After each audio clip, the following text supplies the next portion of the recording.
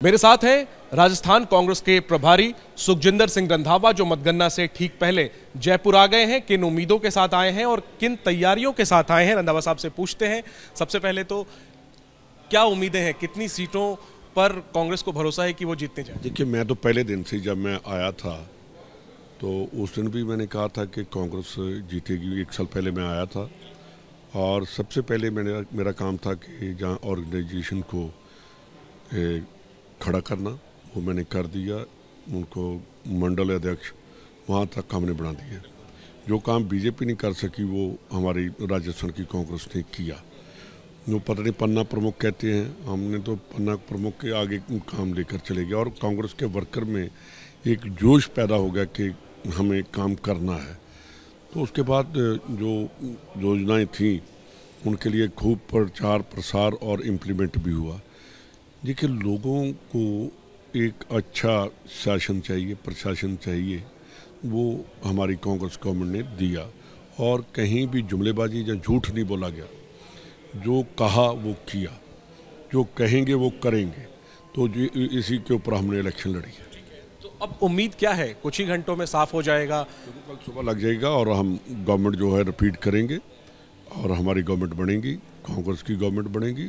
2024 का आप देखना कि पूरे इंडिया में राजस्थान इतिहास चेंज करेगा। साहब हम एबीपी न्यूज़ सी वोटर के एग्जिट पोल की अगर बात करें तो बीजेपी को बढ़त है। बीजेपी सरकार बनाती नज़र आ रही है हालाँकि कांग्रेस ज़्यादा पीछे नहीं है।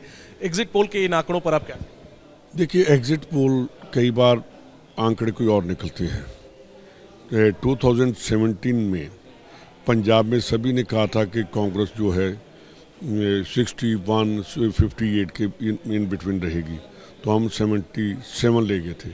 तो इतना तो थोड़ा बहुत आप भी तो इतने नहीं है कि बिल्कुल आप भी बताइए ना आप कह रहे हैं बहुमत आएगा जरा आंकड़ा तो बिल्कुल बिल्कुल हमारा जो है हम बहुमत लेकर जाएँगे। और हमारी गवर्नमेंट जो है बनेगी। अगर कुछ सीटों की कमी रह गई सर निर्दलियों को साथ लेना पड़ा छोटी पार्टियों को साथ लेना पड़ा उसके लिए क्या रणनीति? बिल्कुल वो करेंगे उनको भी हम करेंगे जो हमारे साथ हमारी पार्टी की आइडियोलॉजी को मानते हैं करते हैं उनको हम करेंगे। पर, पर ऐसा काम नहीं करेंगे जैसा बीजेपी खरीदो फरोख्त वाला करती है कि एमएलए बड़ी सरकार को तो वो कभी नहीं होगा और राजस्थानी कभी भी वो बर्दाश्त नहीं करते। संपर्क शुरू कर दिया है क्या आप लोगों ने? संपर्क तो पहले दिन से कर देते हैं। हाँ ऐसा ज़रूर है कि हमसे भी गलती हुई है कोई टिकट जो हैं वो हम ठीक नहीं बांट सके। देखिए मैं बड़ा एक स्पष्ट सा आदमी हूँ कि जो नई बात हुई वो मैं कह देता हूँ कि हमसे गलती हुई है। क्या गलती नहीं कई कई टिकट्स जो हैं तो उनके जो डिज़र्व करते थे उनको ऐसे कि यूथ को देना है किसको देना है कैसे करना है।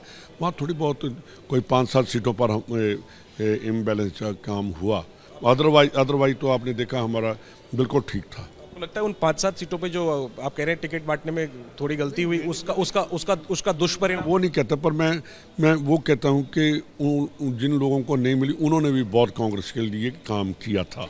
हाँ। तो ये माने कि निर्दलियों से छोटी पार्टियों से संपर्क में है? बिल्कुल है। और और मैं नहीं हर पार्टी रहती है चाहे उनको मेजोरिटी भी दिखाई दे रही हो कि मैं फुल मेजोरिटी लेकर जा रहा हूँ फिर भी डर रहता है कि यार कहीं काम रह गए तो उनको तो पहले अपने कंट्रोल में कर लो। से ठीक पहले जो कैंडिडेट्स हैं क्या उन्हें कुछ निर्देश है जीतने के बाद जयपुर पहुँचे? उनको एक निर्देश निर्देश वो करते हैं जिनको अपनी पार्टी के लीडर्स पर भरोसा ना हो। मेरे को पूरा कॉन्फिडेंस है और जिनको हमने टिकट्स दी हैं वो टकसाली कांग्रेसी हैं। और वो एक एसेट है हमारे लिए। तो उनको अगर उनके ऊपर हमारा भरोसा नहीं रहेगा तो किसके ऊपर है? तो इसकी इसका मतलब ये नहीं है कि हम उसको लेकर भाग जाएँगे जो उसको कहाँ ले जाएँगे। यार वो हमारे ऑनरेबल एमएलए बनकर आएँगे। लोगों को लोगों को दिल में होता है कि मेरा एमएलए बना है मैं खूब नारे लगाऊँ जुलूस की शक्ल में जाऊँ वो सब कुछ वो कर का मुकाबला है कोई तोड़फोड़ का कोई डर नहीं है।